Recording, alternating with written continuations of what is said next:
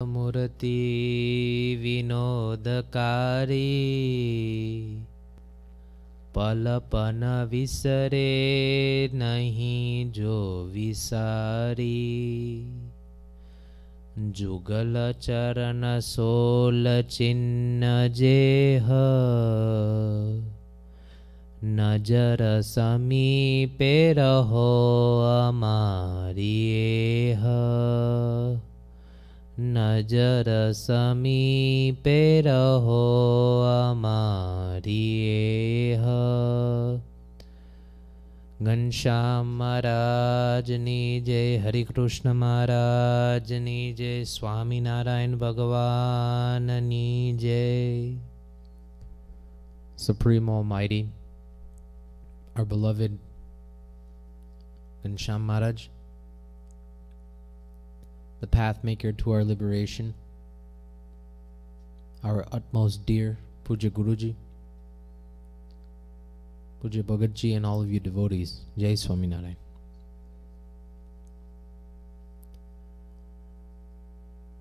In the Vachanamrut, Maharaj says that my devotees, sadhus, brahmacharis, all male and female devotees should remember my Leela Charitras, meaning divine incidences that I have performed in the past. But a question arises why remember the Charitras of Maharaj? Well, what Maharaj is doing is he's showing us and giving us a perspective so we can understand his ruchi, meaning his liking, what he likes and what he doesn't like. He's showing these different different modes of his principles via his charitras. By doing this, he's kind of diluting the form- formula. Just like how in chemistry or physics or any kind of math, there's equations to solve problems. In the same manner, there's an equation to understand Bhagwan. But Bhagwan doesn't straight up give us the formula. What he does is he dilutes everything in such a manner to make it easy so that all we have to do is just plug and play so that there is not a problem in understanding him. Now, I want to give you an example. You're probably wondering that why does Bhagwan give his charitras or show us his charitras so he can show us his ruchi, his liking? What is the reason for that? Well, President Obama, he lives in the White House, right? Suppose he calls you one day and he says that, hey, come and live with me in the White House. Without any kind of reason, he just says, come and live with me in the White House. So obviously, he's the president, so you accept his whole invitation and all. But moreover, suppose you come there with your nature of suppose you have a liking to uh, pretty much mess around, be mischievous, uh, make a mess, things like that, draw on the walls of the White House, etc., so on and so forth. He's not going to like that. Why? Because it's not in his liking. In the same exact manner, Bhagwan wants us and wants to invite us to his Akshardham. He wants us to live there with him. But if we don't have the same swabhavs, natures, behavior, same qualities, or ruchi, likings, then how could we stay with him? I mean, even if we tried, we can maybe stay for one day, two day, couple years, couple hundred thousand years, but then afterwards, since Bhagwan and us don't get along due to our fault or our likings, Bhagwan says that you have to go back down to to earth and fix yourself, and then you can come back. So that's what he really wants us to do. But via his charitras, via reading his different different divine incidences, we can understand that Bhagwan likes this and Bhagwan doesn't like this. So today I come with you for a charitra that I read that I want to share. And from this charitra, one can understand that Bhagwan's uh, intention or one of his principles is to do this particular thing. So, one time Bhagwan was sitting in Gadhada with an assembly there underneath the Nim tree, and he was talking amongst all the devotees and santos there. And Sadguru Nishkuran Swami came there. And Sadguru Nishkuran Swami came there and he pleaded to Maharaj that Maharaj, please come to the river Ghela. It's a river next to uh, Gadhada. Uh, Bhagwan went there to do snan mostly every day, and that river is Prasadini. It's very, very holy. And he said, please come to the river Ghela there and uh, for overlook um, the work that's being done to pick the rocks uh, for the foundation work of the mandir Gadhada. So at that time, there's six mandirs that were built and established and constructed by Sriji Maharaj. Out of them, Gadhada was one of them. And at that time, the construction work was going on for the mandir, the foundation work. So what Santos did, Santos, Parsads, and Haribhaktos, they would go to the river and pick stones for, you know, the process of making the foundation of the mandir. So Nishkuran Swami came to Maharaj and said, Maharaj, please come and overlook the work that's being done to see, uh, you know, which rocks can be suitable for the mandir. So Maharaj ended the assembly there. And Maharaj got up and uh, went and walked to the river Ghela, which was nearby the town. Uh, and he sat on a big rock there. And Maharaj, when he sat there, Sadguru Muktanand Swami came and sat right in front of Maharaj. After that, he was having his darshan.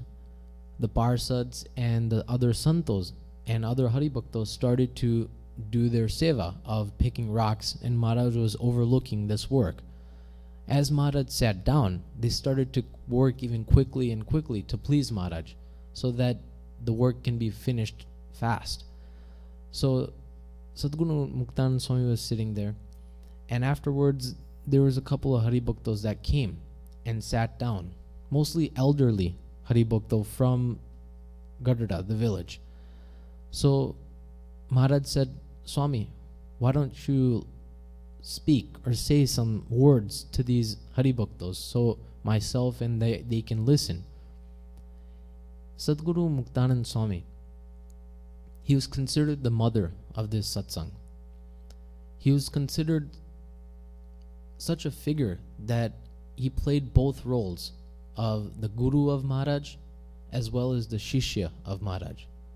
No other Sadguru in the whole Sampradaya, as of right now, has played such a role of being both a teacher as well as a student. Sadguru Muktanand Swami played that role. In Sadguru Gunatitanand Swami's Vato, Swami says that Muktanand Swami was such a son that if there was 2,000 devotees sitting in front of Swami, he would, and if he, if Swami was lecturing and talking, he would be able to fulfill and answer all 2,000 people's questions by his talks. Think about that. Each and every person must have some different, different, you can say, questions in their mind. Yet, without even those people asking Swami, Swami would say, and those people's, you know, those people's answers would be fulfilled, or those people's questions would be fulfilled. That's how great he was. So Swami would talk. And in this charitra, Maharaj commanded Swami to talk, so he started to talk. And we sing the Kadi all the time. Namo Mukta Muktananda Prabhupadatana Sevaka Sada Mahasastra Verathana Gumave Padakada કરે વાર્તા જ્યારે સુરસરિત ધારા સમવહે કુસંગી સત્સંગી સકલ જન ચિત્તે અતિ ચહે In this verse, in Harilamrut, this verse is recited after Swami, remembered after Swami, Swami was such a saint that Namo Muktananda Prabhupada Sevak Sada. He was a Sevak, Mahasastra Abhyasi. He was also a very learned scholar, a very educated saint in the Sampradaya. There is an understatement that Sadguru Muktan Swami was not educated. Due to that, he asked so many questions in the Vachanamrut. But that's the complete opposite. If most of you maybe listened to Nishkam Swami's Katha a couple days ago, Swami had the most questions asked in the Vachanamrut, particularly 90. And from those, he asked the questions for other younger saints for their benefit. But Swami was very, very educated. Swami was very great. But due to that factor, Swami also spoke in such a fashion that it would flow like a river, and everyone would be completely engrossed in his talks. So Swami started to talk. After that, Swami talked for a little bit, and then he, all the Haribhaktas there said that Swami had a very, very good talk about whatever particular topic. It didn't say. But after that, Maharaj told Somla Khachar to ask the older people in the crowd that how do you recognize my santos? Meaning, how do you realize them? What do you reali- realize them to be like? So, none of the older Haribhaktas could answer, you know, how santos are. But there was a herdsman in the back sitting, and he said that Sadguru Muktanand Swami and Sadguru Brahmanand Swami are very, very great santos. So Maharaj kind of inquired, but what about these other santos, meaning Gopan Swami, Gunatian Swami, and other younger santos? What about them? So then the bar, the herdsman said that those are just santos that gather when it's time to eat, but nothing else. That's what he said. And Maharaj said that your understanding is not correct. Maharaj said that these santos are very great. You just don't know it. Imagine Maharaj being the teacher and all 500 non santo and the 1500 regular other santo total of 2,000 santos being the students of Maharaj. Yet, Maharaj is able to say, Maharaj was Maharaj, Maharaj was Bhagwan himself, the Supreme Lord himself, and he is able to say that these santos are very great. That's the greatness of Maharaj. It can be seen in the world that people who are very high and great, like kings, and queens, they're not able to completely accept or completely say or even foretell that my my staff or the people below me that do my work, my servants, are greater than me. Or not greater than me, at least they can say that they are great.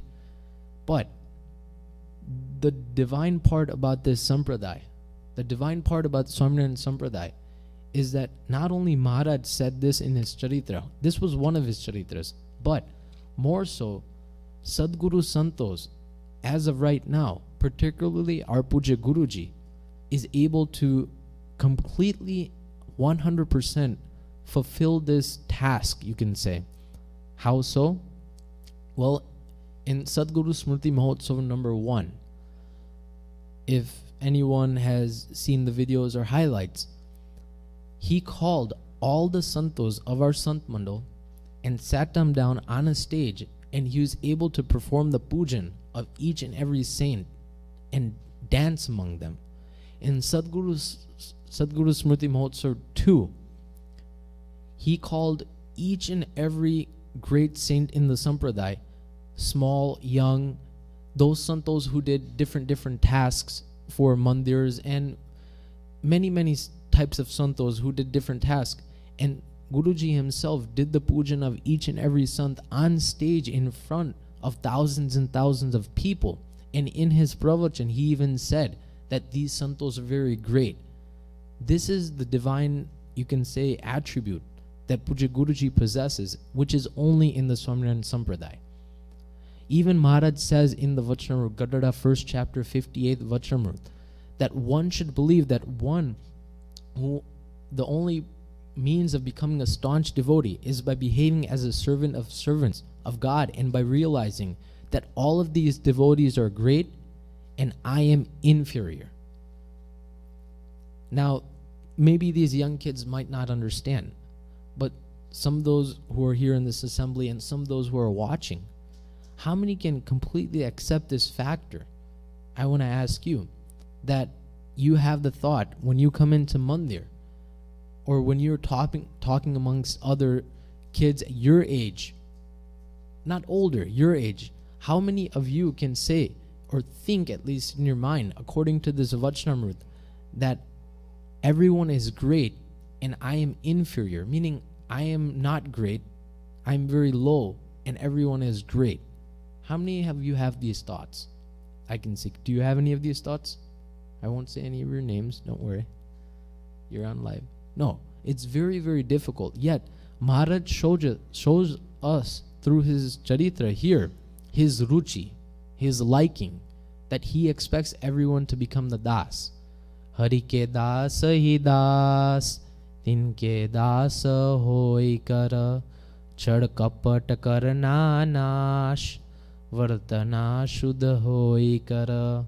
દાસના દાસ થઈને વળી જે રે સતસંગમાં ભક્તિ તેની ભલી માનીશ રાચીશ તેના રંગમાં all these studies are for us to accept that what is Bhagwan's ruchi? What is his liking? What does he expect from us to do? He expects us to become the das nadas, meaning the servant of all these devotees.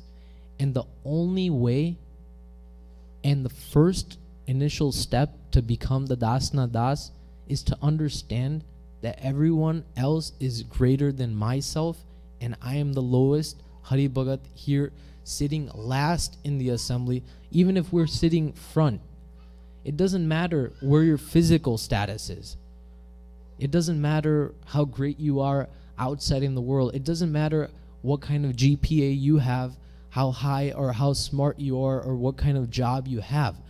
When you enter this door in this temple, in this satsang, we should think that we're the last in the assembly and everyone else is in front of us. That's the true liking of Maharaj. That's what Maharaj expects from us. And that's the only way that he would come and reside in our heart. And Maharaj shows us this in his Charitra that these Maharaj says that these santos are very great but you do not understand.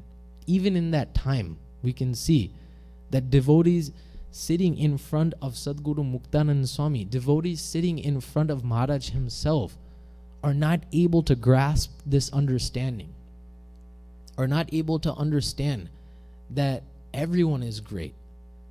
This is just the charitra, meaning those Haribhaktas, I'm sure, knew this, but for us, for us to understand, is very important. And due to that, Maharaj himself said that Abadda Santo, these sant, all of these Santos are very great, but you just don't know it. Then he called a saint by the name of Shantanand Swami. And he called Shantanand Swami and he told Shantanand Swami to come. And he said, Why don't you go ahead and call Siddhanand Swami for me? Now, Siddhanand Swami, see, you're probably wondering what are all these names mean? Well, just a brief, you can say note. Santos are named after their quality that they possess. So in that time, Siddhanand Swami, Siddh means pretty much completely who is uh, has fulfilled everything and is completely in nirvana with God, is pretty much enlightened, you can say. So the story behind Siddhanand Swami was that when he was a Parsad, he, this is a very, Bhagwan says in the Vachanamrut that the most difficult task of all is to constantly have manivrutti, my, one's mind's vrutti in the form of God. But Siddhanand Swami, when he was a Parsad, in that time, he grasped, he pretty much was engrossed in Maharaj's murti in that time. So when he became a saint, Maharaj named him Siddhanand Swami because murti emne siddhati. Murti was completely with him. He was engrossed in the idol of God. So he called for Siddhanand Swami. So Shantanand Swami went and called Siddhanand Swami. Siddhanand Swami was pretty much in pretty much all sweaty. He was working. He had a tool in his right arm. And Maharaj, he came there in front of Maharaj and he said, Ha Maharaj. His it was it's saying in the Charitra that his throat was like a peacock's throat. You know how it's constantly moving. In the same way, Swami was constantly murmuring, Somnarayan, Somnarayan, Somnarayan, Somnarayan. I'm reminded of the Charitra of Puja Guruji that Puja Guruji was just in Gotib, um, which is a, a, village in Panchmahal in India, and there was a para in there. And in that time, it was midnight, maybe 12:30 ish, and Guruji was sleeping in his room, and the door was closed a little bit. It was open, and santos there who were in his service heard noise coming from Puja Guruji's room. So they went closer and closer and they heard Puja Guruji was murmuring Swaminarayan, Swaminarayan, Swaminarayan, like that. So then, after in the morning, when Guruji got up, the Santos inquired that Guruji, you should get some rest. Why are you, you know, why are you awake and doing bhajan at this time? And Guruji said that one of my devotees, I can even say particular name, Rajesh Parikh, he has a very, um, he lives in Chicago, and he has this um, physical illness where he becomes weak and his joints hurt. He is in pain right now and he's in he's in the hospital. And due to that, I'm doing bhajan for him so that he would become well. And while Guruji was saying this story, he started to cry because he could not bear the pain of even one of his devotees. So even Puja Guruji had has this habit of saying Bhagwan's name, Swaminarayan, Swaminarayan, Swaminarayan, constantly. So Siddhanand Swami, when he came, his throat was moving. And he was saying Swaminarayan, Swaminarayan. So Maharaj pointed out that this is true greatness. But the herdsman did not understand. So he said that my santos constantly remember me, my name, in any kriya, any action that they do, anything that they do, they constantly remember me. In the Vachanamrit, Gadhada first chapter 31st Vachanamrit, Maharaj says that greatness is not what you think is measured by. Greatness is due to one's faith in God and how much one follows the commands of God. This is Bhagwan's measurement. This is his yardstick. Now, we can say that sometimes we read something or we hear something from someone and we take out our own measuring stick or our own measuring tape and we start to measure that this is what Maharaj likes and this is what Maharaj doesn't like. But that's not true. When we read the Vachanamrit, when we read these kinds of charitras, we can understand that Maharaj's liking is like this and Maharaj's, you can say, ruchi, his principles are behind this.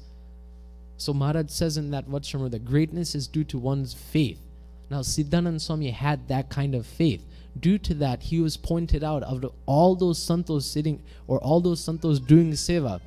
Why did Maharaj himself select Siddhanand Swami to come and be shown to all those Haribhaktos, those elderly Haribhaktos, that his own greatness? Because that was his own principle. And Maharaj pointed out that Siddhanand Swami has constant rapport of me, my murti, and also my name. Now, Bhagwan is what is Bhagwan showing there?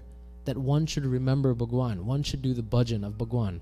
Sadguru Gunatan Swami in his Vato, he says that Samaran mantra is very, very powerful. How so?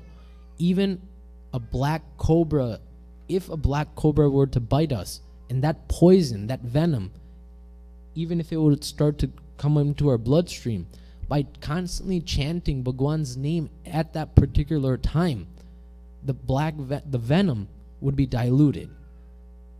Now, let's think about it scientifically if we think about it or if we even think about it in the perspective of a doctor these are words, okay? Something that's mentally occurring. This is the body, which is something different. You're telling me, or at least Swami is telling us, that by chanting one mantra, meaning Swaminarayan, one word, if we can look at it in that fashion, a black venom or a black cobra's venom would be diluted. Then imagine how powerful Bhagwan's name is.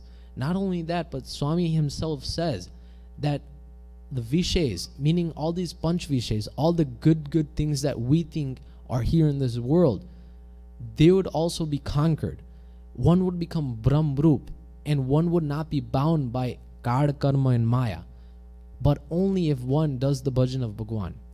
Now, kids nowadays here, due to technology, you can say, have these kinds of counters, as you can see and they keep these counters and they say Bhagwan's name. Some have the niyam of doing 1,000 jumps, 2,000, 5,000, 10,000. But I encourage each and every one of you to get one of these counters and at least make a niyam for yourself that in one day I want to do this many jobs and see how your day becomes. See how your life becomes if you consistently do this for a span of one month, two months, six months. But Bhagwan's ruchi, as we can tell and see, is like this. So after Siddhananda Swami came, he showed them. Then all the elderly people, they understood that, wow, this saint, these, not only Muktan Swami and Brahman Swami, but all the Paramhansas of Maharaj are very great. So Maharaj showed us this principle via his Charitra.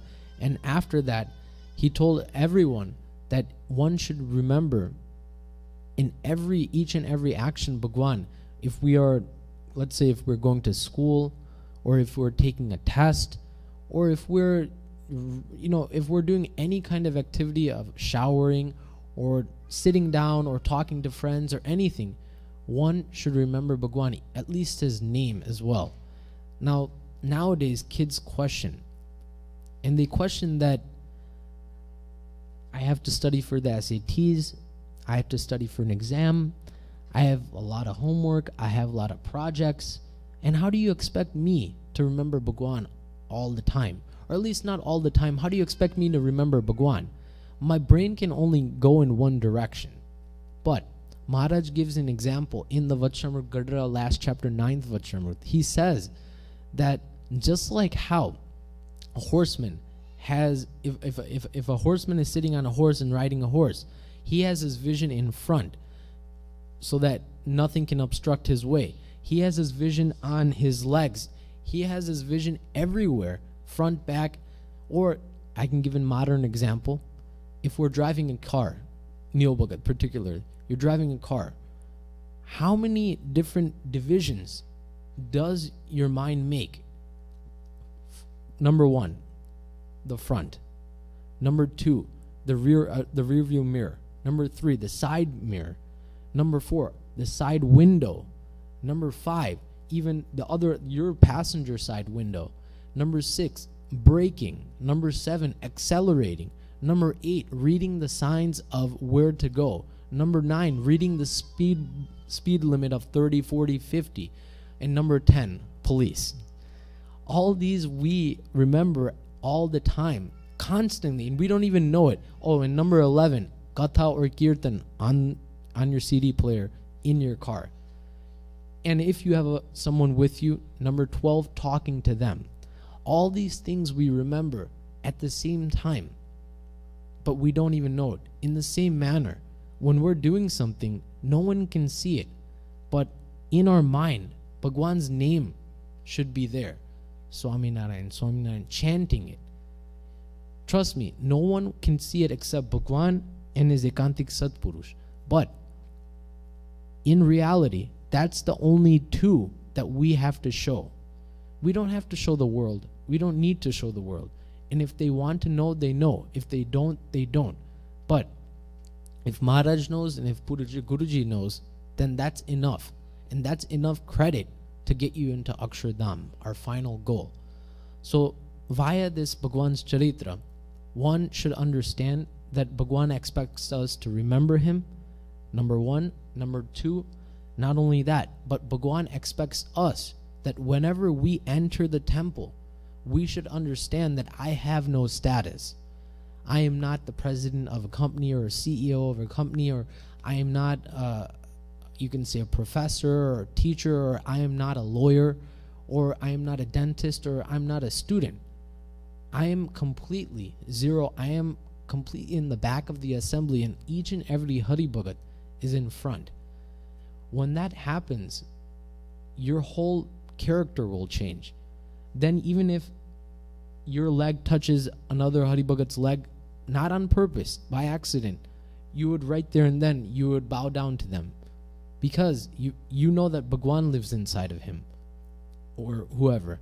In the same fashion, any kriya or any action that you do, you would be completely oblivious to your surroundings of what will other people think and you would know that everyone is greater than me and I am inferior. I am completely a low, low devotee in this satsang. And when that happens, then Bhagwan becomes pleased. These are the two principles that Maharaj teaches in this charitra, particularly. So one should read the charitra of Maharaj and one should understand them. One should read Vachanamrut Swamini Vato and one should get one of these counters if one doesn't. And one should remember Bhagwan.